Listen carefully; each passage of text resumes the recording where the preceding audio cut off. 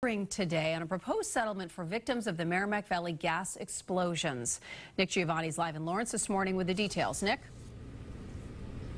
Kate, that proposed settlement worth $143 million. And today, a judge gets a final say on that. If approved, payouts would range from $50 for anyone who went through a quote nominal disruption to 15,000 for any major disruption. Columbia Gas and its parent company don't oppose the terms of this potential settlement, we understand, but a group of local leaders aren't quite satisfied with it, including Lawrence Mayor Dan Rivera, who's calling for more money to go toward improving public safety infrastructure and to residents affected by the latest gas leak just last month along South Broadway in Lawrence.